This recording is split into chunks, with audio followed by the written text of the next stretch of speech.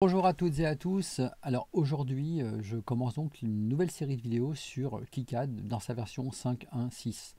Euh, J'avais fait une série sur la version 5.0 et euh, cette version elle a tout de même pas mal évolué et donc c'est la raison pour laquelle je propose une nouvelle série avec une orientation un petit peu différente.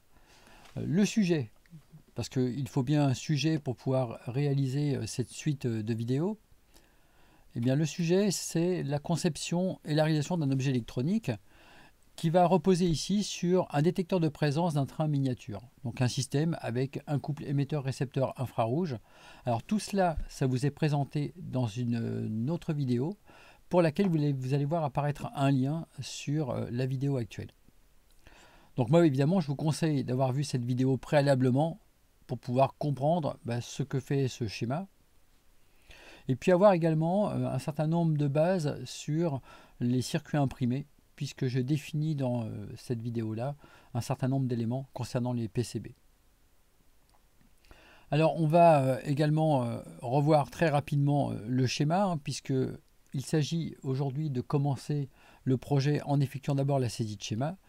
Donc la saisie de schéma, elle porte sur ce schéma-là.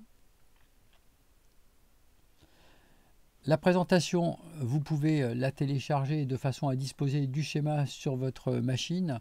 Alors de la version évidemment euh, PowerPoint de ce schéma. Euh, vous allez voir apparaître également un lien de téléchargement sur votre écran maintenant.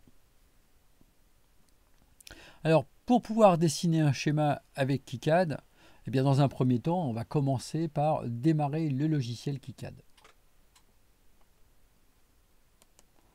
Donc je démarre KiCad et je vais créer un nouveau projet. Donc fichier, nouveau projet. Ce projet, je vais mettre dans un dossier ER1 pour moi. Pour les étudiants de l'IUT, je conseille de créer un dossier ER1 pour les travaux de réalisation de première année sur le réseau, donc euh, dans leur dossier documents. Et puis pour les internautes, vous mettez ça bien sûr où vous voulez. Le dossier, on va l'appeler détecteur présence, sans espace, sans accent. Hein, les logiciels, euh, de nombreux logiciels ont du mal avec les caractères accentués au niveau des noms de fichiers, des noms de dossiers, donc je vous déconseille d'utiliser les accents. Et puis je déconseille également d'utiliser les espaces. Alors le logiciel va également euh, créer un dossier pour pouvoir mettre tout ça. Alors quand je dis qu'il ne faut pas ni d'espace ni d'accent, c'est valable bien sûr pour toute la structure hiérarchique qui mène au dossier dans lequel vous allez créer votre projet. Allez, on enregistre. Et donc on obtient maintenant euh, deux fichiers. Euh, détecteurprésence.sch qui va contenir le schéma de notre projet et détecteurprésence.kicad underscore PCB qui va contenir le dessin du circuit imprimé. Double-clic sur détecteurprésence.sch et on ouvre donc le schéma. Ce schéma, il est constitué euh, d'une page de schéma avec un cartouche que nous allons tout de suite remplir. Pour remplir le cartouche, vous avez ici un outil ajustement option de page ou sinon fichier ajustage page. Alors on va y rentrer la date. Alors on peut faire un copier-coller de la date directe. Simplement ce qui va être copié-collé c'est la date dans un format euh, anglais bah, qui ne nous convient pas forcément. Donc je vais la taper à la main. La révision, c'est euh, ce qui correspond au numéro de version. On est sur la version 1.0 de notre projet. Le titre, détecteur de présence pour train miniature. Là, évidemment, on peut utiliser des espaces, des accents. On a le droit de respecter l'orthographe quand on tape le titre. En ce qui nous concerne, c'est donc l'IUT de Nantes département GEII pour ce qui correspond à la société. Et en commentaire, vous pouvez par exemple ajouter votre prénom et votre nom. Voilà, on a l'ensemble des éléments intéressants. On pourrait, si on en avait besoin, modifier le format de la page. Ici, par défaut, c'est du A4. Et du A4, euh, ce sera convenable pour ce qu'on a à faire. On va pouvoir loger l'intégralité de notre schéma sur du A4. Mais si on a besoin d'augmenter la taille, ça peut se faire ultérieurement en modifiant ici euh, le paramètre. Bien, donc cette page de schéma, c'est une page de schéma qui est vierge. Euh, le schéma, on l'a aperçu tout à l'heure. Euh, J'y reviens tout de suite. Alors, ce schéma, il comporte donc un certain nombre d'éléments. En particulier, il comporte des symboles de composants. Donc, tout ce qui apparaît ici dans des rectangles bleus, ce sont les noms des symboles des différents composants. Par exemple, ma capacité ici, qui est une capacité non polarisée, eh bien, le nom du symbole correspondant dans KiCad, c'est C. Le point de test qui se trouve là-haut, le nom du symbole correspondant, c'est test point. Et le connecteur que vous trouvez là a pour nom de symbole con underscore 01 croix 03. Les résistances, alors les résistances en KiCad, elles sont disponibles sous la forme d'un rectangle ou sous la forme d'une résistance en forme de zigzag comme celle-ci, euh, qui correspond à la résistance US. Alors moi, c'est celle que je préfère, hein, c'est celle que je mets tout le temps, parce que c'est celle qu'on va trouver dans les datasheets en général, où on trouve pratiquement jamais de rectangle pour une résistance. Alors je sais bien, il y a une norme européenne qui veut imposer un certain nombre de choses, mais enfin face au marché américain, on pèse pas lourd. Et finalement, cette norme européenne, elle est très rarement observée dans les documentations que vous pourrez regarder. Bien, donc là, vous avez tous les éléments. Je vous rappelle que la présentation euh, est téléchargeable en format PDF et c'est important de l'avoir pour pouvoir justement disposer des différents noms de composants.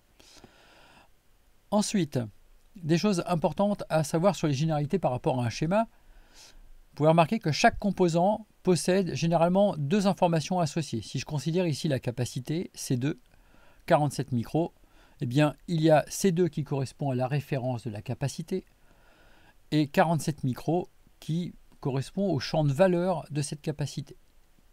Alors il ne peut y avoir qu'une capacité C2 dans le circuit. Donc les capacités ont une référence qui démarre avec un préfixe C, les résistances le préfixe R, les circuits intégrés on utilise le préfixe U et les connecteurs le préfixe J.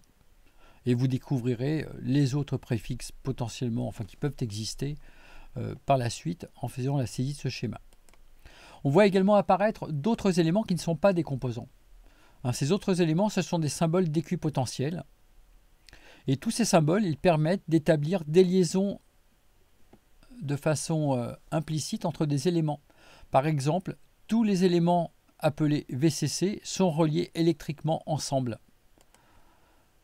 Voilà, c'est ce qu'on voit apparaître à travers ces liaisons invisibles, en quelque sorte.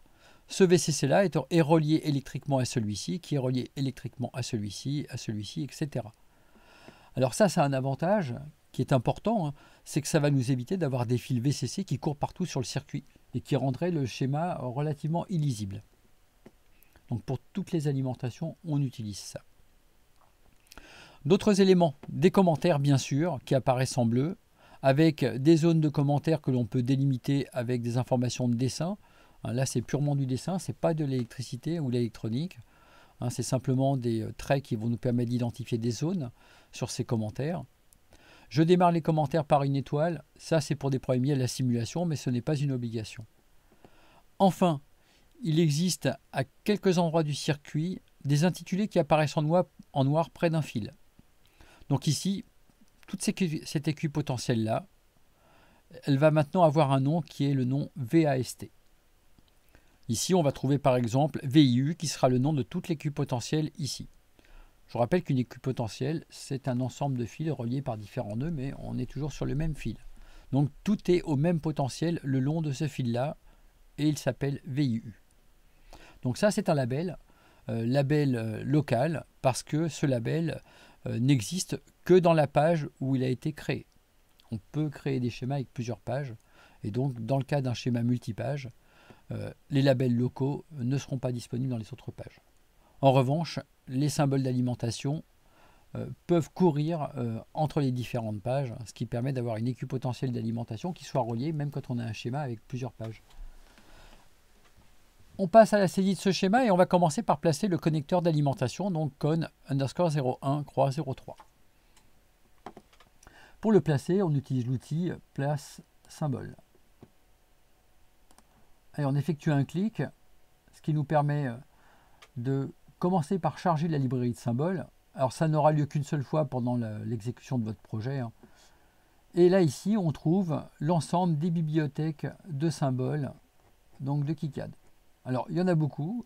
Je vous invite à aller vous balader dedans pour les observer un petit peu et nous, on va en découvrir quelques-unes au fur et à mesure de ce projet.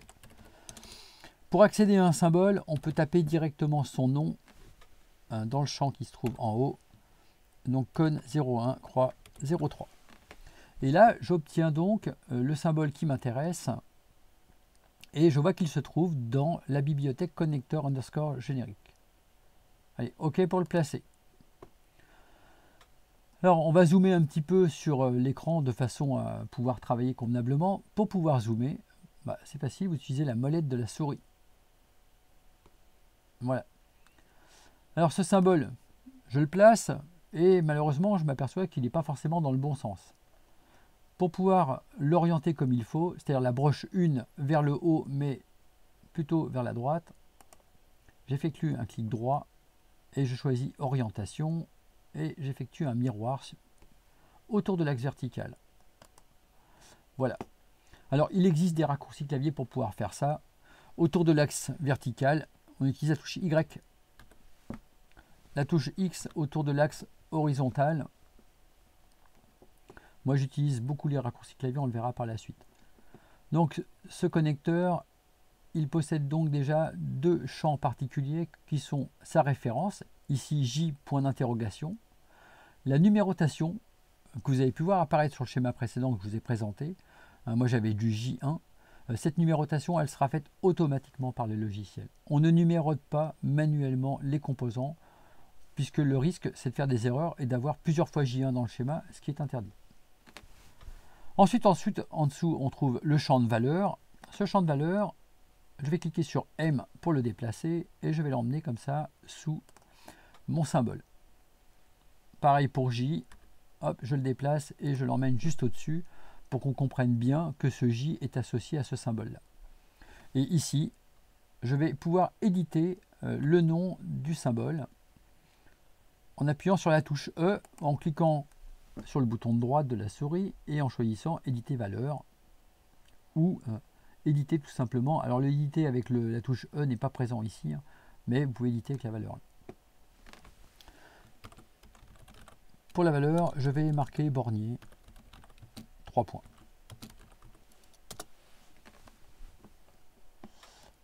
Bien, et bien maintenant on va pouvoir placer euh, les autres composants.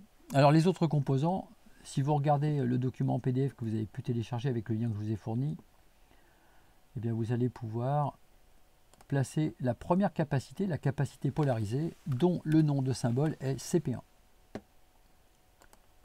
Alors je vais placer ça euh, par ici, hein, pas trop loin du, euh, du symbole, du connecteur. Je vais donner une valeur. Donc pour ça j'édite le champ de valeur, donc 47 micros.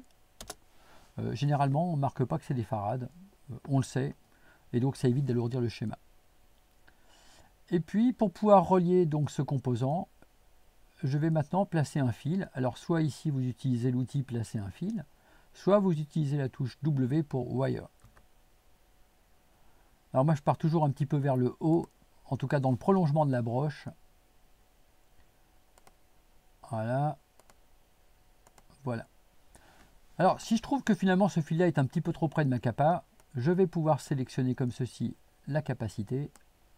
Et en, en appuyant sur la touche Tab, je vais pouvoir faire le drag d'un bloc, c'est-à-dire conserver euh, les connexions électriques. Voilà, donc là, je me déplace et en même temps, je conserve les connexions électriques qui vont donc s'allonger automatiquement. Alors je trace un autre fil, hop, c'est le fil qui va correspondre à la masse. Et on termine par un double clic. Ici, hop, un fil. Et maintenant je vais pouvoir copier ma capacité puisque j'ai la même en dessous. Donc pour ça j'appuie sur la touche C pour copier. Voilà. Allez, W, on trace un fil, on trace un fil, alors si finalement on trouve que juste un cran c'est suffisant, ben, on va mettre un cran ici. Et là-haut en sélectionnant tel qu'on l'a vu tout à l'heure. Donc j'appuie sur échappe pour retourner sur l'outil de sélection. Voilà. J'appuie sur tab et donc j'effectue un drag vers le bas pour avoir simplement un cran. Bon, ça me permet d'avoir un schéma qui soit relativement concis. Bien ensuite, ensuite, on trouve deux capacités de 100 nanofarad. Ces capacités de 100 nanofarad, ce sont des capacités non polarisées. Leur nom de symbole, c'est C. Donc, j'utilise l'outil de placement. Hop, et je viens placer la capacité correspondante. Je vais tout de suite lui donner sa valeur. On évite de laisser traîner des composants sans valeur. Hein, il faut le faire tout de suite. Et je vais donc venir ici tracer les connexions de ce composant. Je le copie pour avoir celui de la partie négative de l'alimentation. Bien, on poursuit. On poursuit en observant quelques éléments sur le schéma. Euh, sur ce schéma,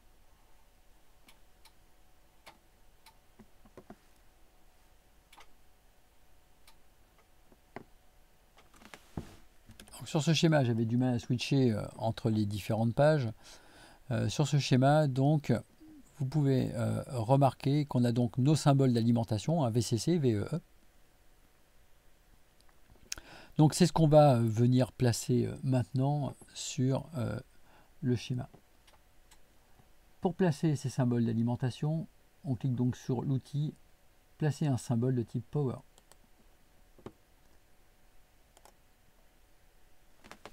Alors les symboles de type Power, on y accède en donnant leur nom. Tout simplement, donc j'ai un symbole de type Power VCC, ce symbole de type Power VCC, je vais le mettre ici. Hop, je trace un fil avec W. Je vais placer mon symbole de type Power pour la masse, usuellement GND. Et mon symbole d'alimentation pour euh, l'alimentation négative, ce qu'on note très souvent VEE. E. Alors ce VEE, e, il n'est pas dans le bon sens. Vous pouvez le faire tourner avec la touche R pour rotate, ou vous pouvez accéder au menu contextuel pour faire la rotation, ou pour pouvoir faire un miroir, hein, ce qui va revenir au même que de faire deux rotations. Et on trace le fil correspondant. Bien, on l'a vu tout à l'heure, donc sur euh, le schéma que je vous ai présenté, il y a maintenant ici un élément qui apparaît. Euh, cet élément qui apparaît, c'est finalement une partie du TL082. Alors le TL082, c'est un double amplificateur opérationnel. Donc c'est un boîtier, un composant, dans lequel on trouve deux amplificateurs opérationnels. Ces deux amplificateurs opérationnels ont besoin d'être alimentés et on trouve donc un élément supplémentaire qui se trouve dans ce boîtier pour se charger de l'alimentation. Donc il s'agit d'un composant dont la représentation repose sur la représentation de différents éléments qui sont indépendamment plaçables sur le schéma. Et vous pouvez remarquer qu'il y a une petite différence par rapport aux autres composants, c'est que ma diode D2 par exemple, elle s'appelle D2 et rien d'autre. Ici, mon circuit intégré s'appelle U1 et on a un suffixe B qui indique qu'on utilise l'élément B du circuit intégré ici. Là-bas, on utilise l'élément A du circuit intégré. Et vous pouvez remarquer que les numéros des broches ne sont pas les mêmes. Et là-haut, eh on utilise l'élément C du circuit intégré pour l'alimentation. Et les broches, c'est pareil, hein, ce ne sont pas les mêmes. En détaillant, eh bien, on constate qu'on dispose ici finalement d'un total de 8 broches. Ce composant, c'est un composant à 8 broches, donc avec différentes parties à l'intérieur. Alors on voit maintenant comment on peut placer ces différentes parties. Donc je place un composant, je vais choisir donc de placer mon TL82 et pour ça je tape donc la référence TL082 et vous voyez qu'effectivement il est possible de placer différentes unités de ce boîtier. Donc je choisis l'unité C, on voit que ça correspond à l'alimentation. L'unité A et l'unité B correspondent à l'amplificateur opérationnel. aux deux amplificateurs opérationnels présents dans le boîtier. On va le placer comme ceci et on va bien sûr le relier.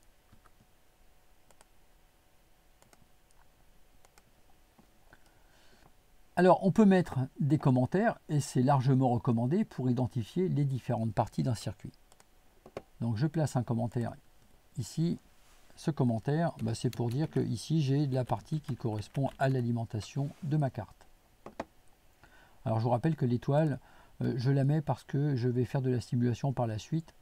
Mais si vous ne faites pas de simulation, l'étoile n'est pas indispensable au début de ce commentaire. Ensuite, pour plus de clarté, je peux déplacer un petit peu ici euh, ce qui correspond au U, euh, ici ce qui correspond au TL82. Et si vraiment on trouve que c'est un peu gênant, on peut déplacer la partie ici GND en appuyant sur la touche de tabulation pour pouvoir faire un drag du bloc correspondant. Voilà, c'est plus clair comme ceci. Autre possibilité pour pouvoir commenter, c'est de mettre un polygone graphique. Donc que je vais placer autour ici. pour tout ce qui concerne finalement l'alimentation du circuit intégré.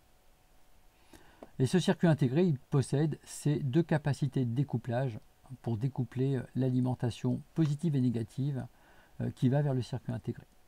On reparlera par la suite de ces deux euh, capacités un peu particulières. Voilà, on a vu comment on pouvait euh, finalement tracer un schéma.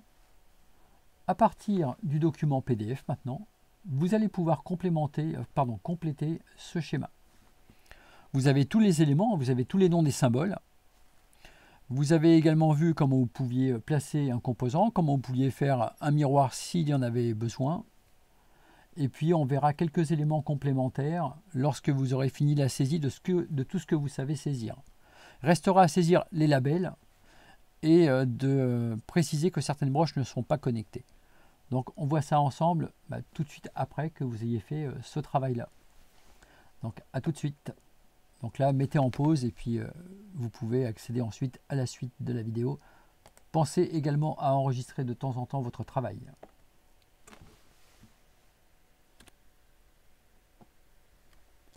Bien, alors on se retrouve et on va donc maintenant aller voir le schéma complet.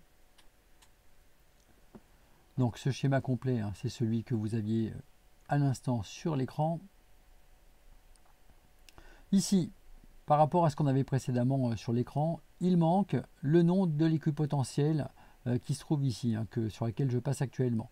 Cet équipotentiel, on l'appelle VAST ça correspond à l'équipotentiel en sortie du montage à stable, hein, d'où ce nom VAST. Pour pouvoir mettre un nom à une équipotentielle locale, donc placer ce qu'on appelle un label, eh bien on donne un nom au label, ici VAST. Alors bien sûr, on peut mettre en gras italique, etc. On peut changer la taille du label. On peut l'orienter comme on le souhaite. Et on va ensuite le placer comme ceci sur le fil. Donc le petit carré placé n'importe où sur le fil de façon à nommer l'équipotentiel correspondante. Ça, bien sûr, vous devez le faire pour tous les euh, signaux qui apparaissent ici, hein. VIU par exemple, VF, la sortie du filtre, VA, la sortie de l'amplificateur, VD, la sortie du détecteur de crête ou détecteur d'enveloppe, VRF, ce qui correspond à la tension de référence du comparateur, et VIR pour ce qui correspond au signal de sortie. Bien ensuite, petite chose supplémentaire, ici euh, on a des broches qui ne sont pas connectées. Les broches non connectées, eh bien, il faut préciser qu'elles sont non connectées en plaçant donc un élément de non connexion. Voilà. Donc ce schéma, eh bien, il est euh, terminé. Alors, une petite chose que vous n'avez pas sur le vôtre et que moi j'ai sur le mien, que je vais supprimer tout de suite pour qu'on puisse euh, justement voir à quoi ça sert.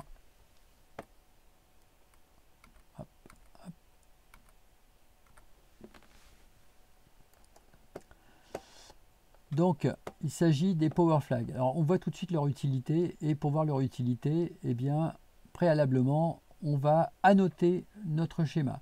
Alors, qu'est-ce que c'est qu'annoter le schéma? Eh bien, Ça veut dire numéroter l'intégralité des références des composants du schéma. Donc pour ça, vous avez un outil ici, annotation des composants de la schématique.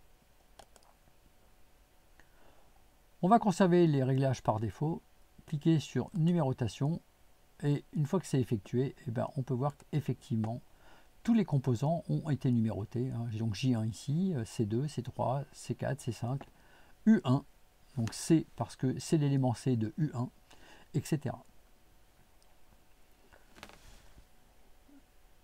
ce schéma, maintenant, il semble terminé. Et puisqu'il est terminé, je vais maintenant pouvoir euh, contrôler euh, les erreurs électriques qui pourraient apparaître dedans. Donc pour ça, on a un outil, hein, cette petite coccinelle, qui nous permet d'effectuer euh, le DRC, un Design Rule Check de notre circuit, et de voir toutes les erreurs électriques. Donc pour ça, on clique sur Exécuter. Alors ici, on trouve trois fois le même type d'erreur. Alors ces erreurs, elles vont également apparaître quelque part dans le schéma, donc il suffit de cliquer dessus pour voir où elles apparaissent. La première, vous pouvez le voir ici, elle apparaît sur la broche GND. La seconde, elle apparaît sur, alors il faut trouver la flèche, euh, ici sur VCC. Effectivement, ça apparaît au milieu de l'écran. Et la troisième, elle apparaît sur l'équipotentiel de VEE. E. En fait, on a trois fois finalement la même erreur pour des signaux qui sont tout à fait analogues, qui sont les signaux d'alimentation. Et qu'est-ce que nous dit le message de cette erreur? C'est que on a des broches qui sont connectées à un signal d'alimentation, mais rien pour piloter ce signal en quelque sorte. En fait, il n'y a pas de source d'alimentation là-dedans. Alors ça, ça provient du fait que l'intégralité des composants présents sur ce circuit ont des broches d'alimentation qui sont des broches euh, qui reçoivent l'alimentation, mais qui ne sont pas des sources d'alimentation. Pour compenser euh, cette problématique-là, on va ajouter des éléments de type power flag, donc on va trouver dans les symboles d'alimentation, donc PWR flag, et on va placer ça sur chaque borne d'alimentation correspondante, hein, sur chaque signal d'alimentation. J'effectue des copies pour que ce soit plus rapide.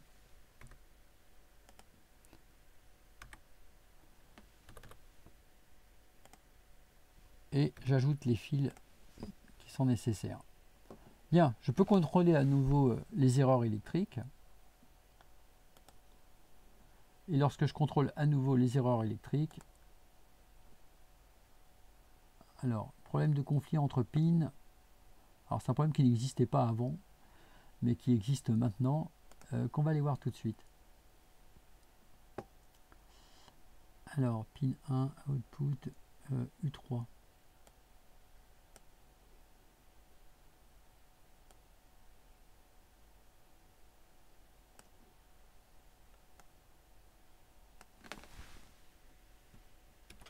Alors ça, ça correspond en fait à une erreur de définition du composant LM311 dans la bibliothèque KiCad. Euh, effectivement, la pin 1 de U3, c'est cette broche-là. Cette broche-là, elle s'appelle GND. Et en réalité, elle a été mal décrite dans la bibliothèque. Elle a été décrite en émetteur ouvert, alors qu'en réalité, euh, ça devrait être du power input. Donc c'est la raison pour laquelle on voit apparaître ce conflit qui est en plus d'une sévérité importante, hein, parce que c'est un conflit qui provoquerait un court-circuit potentiellement. Bon, bah là c'est simplement une erreur. Donc euh, on va laisser ça comme ça, bah, parce que l'erreur provient de la bibliothèque KiCad. Et donc, euh, bon, il n'y a pas de souci à ce niveau-là. On sait comment fonctionne le circuit et on sait que c'est la bibliothèque qui est fausse. Bien, donc on a terminé euh, la saisie de ce schéma. Les erreurs électriques ont été contrôlées à, l'erreur près euh, de la bibliothèque KiCad qui est en cause et pas euh, le, de notre schéma. Alors il y a des commentaires supplémentaires qui sont importants à ajouter. Hein. Globalement il faut ajouter tous les commentaires. C'est important lorsqu'on a un bornier, par exemple, de préciser comment se font les connexions sur le bornier. Donc c'est le cas ici, c'est le cas ici. Voilà, ça clôture cette euh, première vidéo. On a vu comment on pouvait euh, réaliser le schéma électrique, donc électronique d'un circuit. Bien, bah, je vous remercie d'avoir euh, suivi cette vidéo. Dans la prochaine vidéo, on verra comment on peut associer à chacun des symboles du, du schéma, associer une empreinte physique pour pouvoir ensuite dessiner le circuit imprimé merci d'avoir suivi cette vidéo et à bientôt pour l'association des empreintes physiques aux différents symboles.